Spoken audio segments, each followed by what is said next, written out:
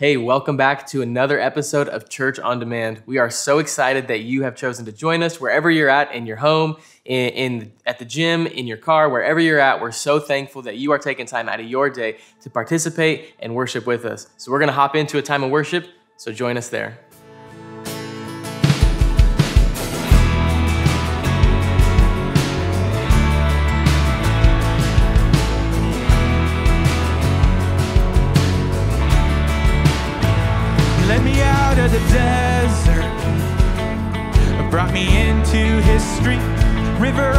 Living water.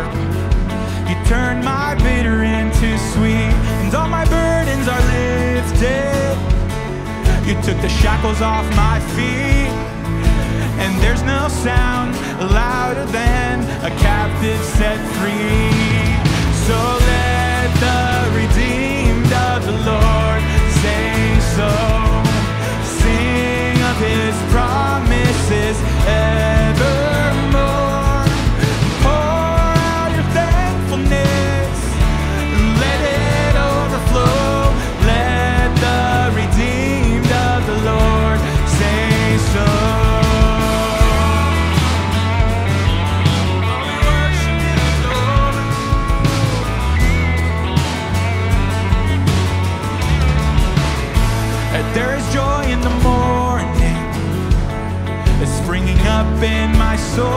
There is life worth living, and cause He calls me His own. There's a hallelujah after sweet victory. And there's no sound louder than a captive set free. Oh, and there's no sound louder than a captive set free. So let the redeemed of the Lord so. Sing of his promises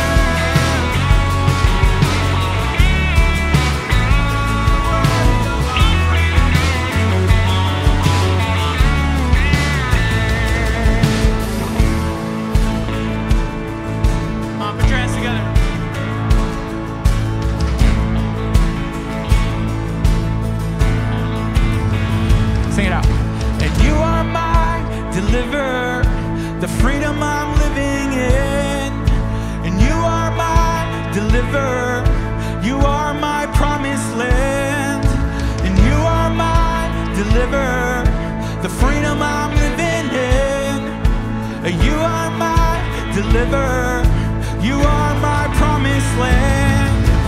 You are my deliverer, the freedom I'm living in.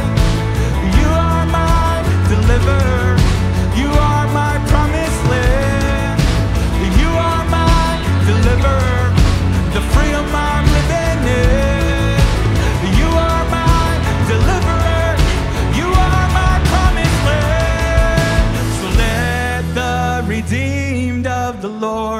say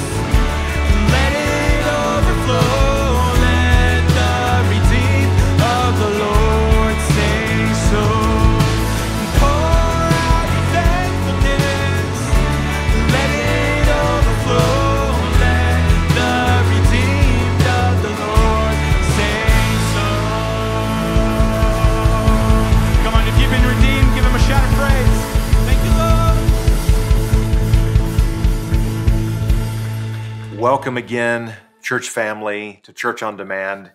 Um, I'm coming to you with another message today from the series Family Matters. Uh, what a week this has been. Uh, we just kicked off our house parties this week. We had about seven houses open up this week with families coming in and sharing a meal, sharing communion, praying together, encouraging one another in the Lord. And uh, I can't wait to hear the praise reports that come out of these house parties. Uh, if you haven't signed up, please do. Um, on that website, hermistonassembly.com, you'll find seven choices to choose from, as well as the document, the template for the house parties themselves. That'll give you an idea of what we're doing.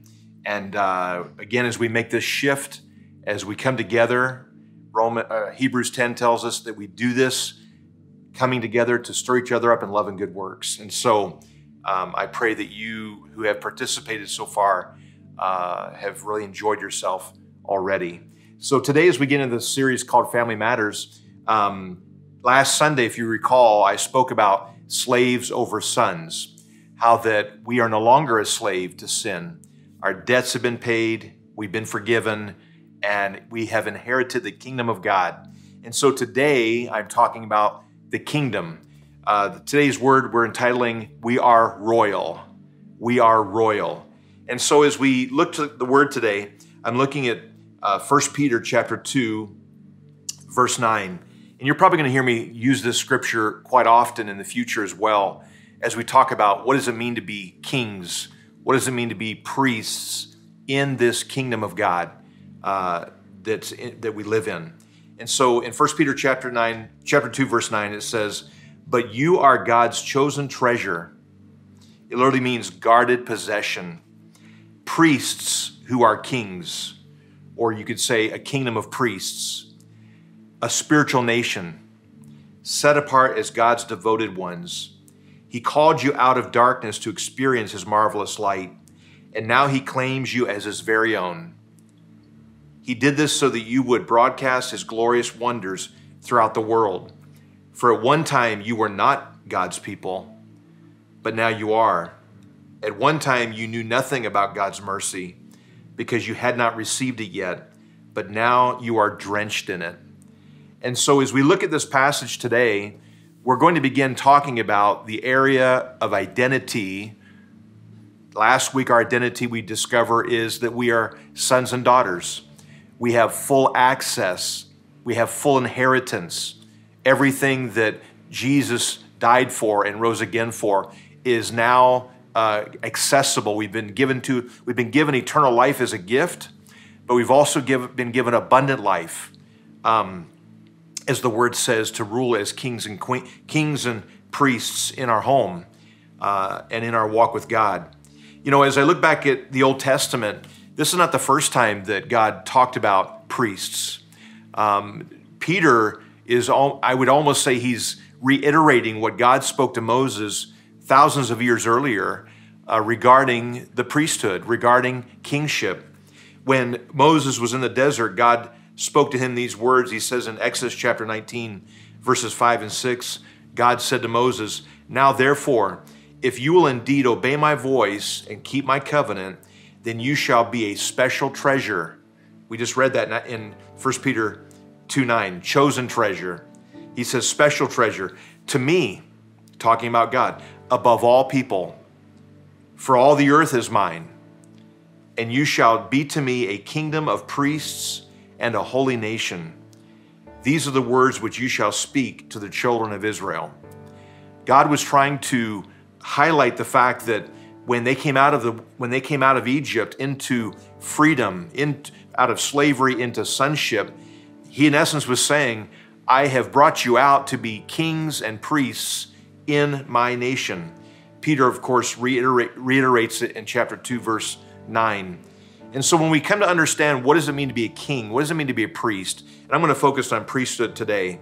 To be kings, it means that God, we represent God to man with authority, governance. We're, we're in essence mediating God's covenant with man uh, through the preaching of the gospel, preaching of the kingdom. And then when it comes to priests, we represent man to God. In other words, through prayer, intercession, uh, taking our family to a place of God's presence.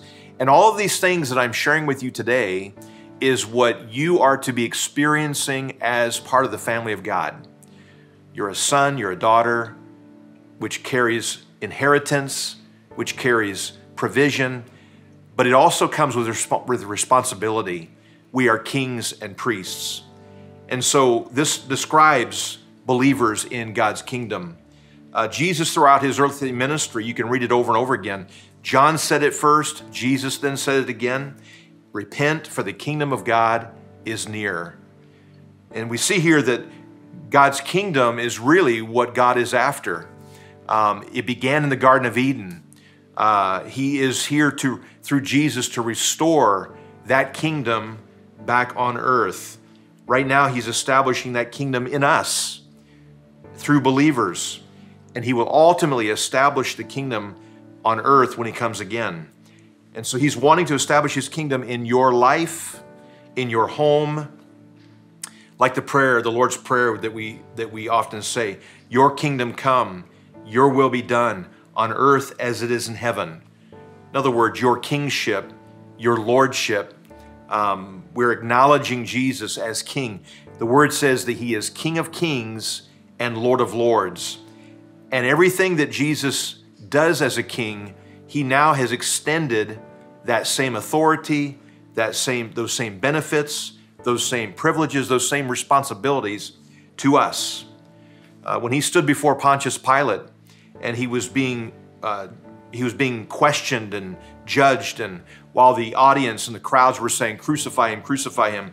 Pilate uh, says Pilate said to to Jesus, um, said to him, Are you a king? And Jesus answered, You say rightly that I am a king. For this cause I was born, and for this cause I have come into the world, that I should bear witness to the truth. Everyone who is of the truth hears my voice. And then Herod would go on to say, Well, then what is truth? And the truth that Jesus was bringing in front of Pontius Pilate and all that and, and, and all those governing authorities was that that he was a king of a kingdom and that he was establishing his kingdom. The Israelites, up to that point, if you recall the week before he was crucified, the, the Israelites wanted Jesus to overthrow the Roman kingdom, the Roman rule. But Jesus was not here to do that. He was here to establish his own kingdom based on his crucifixion, based on his death, burial, resurrection. He was here to reestablish God's kingdom in our hearts, not just in rule, but rather in our hearts. And so, what is a kingdom? Simply put, a kingdom is the government of a king. A kingdom is the sovereign rulership and governing influence of a king over his territory, impacting it with his will, his intent, his purpose, manifesting a culture and society reflecting the king's nature, values, and morals. A kingdom is the governing impact of a king's will over a territory or dominion, he, his influence over a people, and a government led by the king. Therefore, the very heart of any kingdom is its king. The very heart of the kingdom of heaven is Jesus. It's perfectly illustrated in the fact that what makes heaven heaven is God. God is ruler of the heaven and the of the heavens and the earth. There is no part of his creation. You know, I, I on on Instagram I I subscribe to some of the um, like NASA or uh, some of the pages that show the the solar systems being taken by you know pictures by by the Hubble telescope or other telescopes and and I'm always amazed at the gravity and the and the grandness of the universe and the millions if not billions of galaxies out there and realizing that God owns it all. He's ruler of it all. There is no corner of the universe, no corner of space, no, no, no part of creation that does not have his presence in it, that he is not part of it. And that same presence of God, he wants to bring to earth. He wants to bring to us. How did he do it? In the fullness of time, Galatians 4 4, Jesus came and died and rose again. And he came to earth to reestablish the kingdom of God. Uh, because only a king can establish a kingdom. This act alone reveals that Jesus Christ is the king. When he comes again, we're going to hail him as King of Kings and Lord of Lords. What he was telling, in essence, to Herod or to Pilate was that my kingdom is not of this world. My kingdom's from another place. Uh, he was clearly emphasizing that he was a king and that he was speaking of the kingdom of heaven. Uh, Jesus uh, said that his kingdom was not of or from this world, but he never said it was not in this world. His kingdom on earth originates in heaven, and we have heaven in us. Amen? And so I just want to close with a few qualities of kingship um, when it comes to being a king. When, you, when we're born again, again, like I said, we become sons and daughters. We also be, which carries inheritance and blessing and the love of God and the presence of God. Uh, you know, we can rest in Him, but it also carries responsibilities. Some of the characteristics of a king are this: um, we have inherited authority. We have inherit authority because we're born again into His kingdom. When you became born again, you you inherently began to operate in the authority of Jesus Christ, the King. We were born into kingship. Uh, because the kingdom is ours by birth, it is for life. In other words, it's not here today, gone tomorrow, it, but rather we are born into his kingdom and it's for life and it's for eternity. Um, because, as a king, uh, a king's words are absolute. Jesus' word is absolute. And because it's absolute, we can rest in it with pure confidence, or can I say Godfidence, God confidence, or faith. We can rest in the Word of God as kings in the kingdom. Um, his Word will never, uh, His Word does not and will never change. And so, this very word that the Bible says, even if heaven and earth passes away, my words will never pass away. Um, this very word is the word that we will not only be judged by, that but we will also rule and reign by as kings in the kingdom. Jesus owns it all. That's what the word Lord means owner. He owns it all. He owns our hearts. We are, the word says, we've been bought with a price. We're not our own. And we have authority in His name. We reflect His character and His nature. Uh, when you think about it, when a king shows up, His full authority is present. The word says, when two or three gather in his name, he is in the midst of us, talking about King Jesus.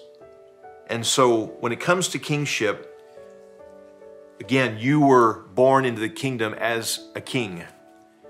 Jesus is the King of kings and Lord of lords. God is the owner of it all, but he has bestowed on his son Jesus all power and authority. And that same power and authority he gave Jesus as king he now has extended to you in your home. And so we're going to dig into it as time goes on a little bit more, what that practically looks like for you and for me. But understand this that as a believer and as a member of the family of God, but also for your house, your home, your children, your spouse, uh, whether you're single or married or uh, you know or have kids or no kids, um, God has given you authority in the home as kings. I tell people when I perform their wedding, I say, whenever you say the words, I do, God says, I will. When you said yes to Jesus, God says, I give you authority. I, I will give you everything you need to rule and reign according to the Word of God, to walk in my authority, to walk in my power, to walk in my presence, to, to be an extension of my kingdom. And so I want to pray with you today that God would just begin to make that real in your home today. Amen. Lord, I thank you for everybody watching this broadcast today, this church on demand. And I pray, Lord, that we, each one of us, would, rather than walking in shame and condemnation and fear, that we would begin to realize the authority that you have given us as kings in our home, dear God, as kings in our walk with you, as kings in our in your kingdom. Uh, Lord, every when you told the disciples to go and heal the sick and raise the dead and and and bring deliverance, you told them to tell those that received a miracle, the kingdom of God has come near you.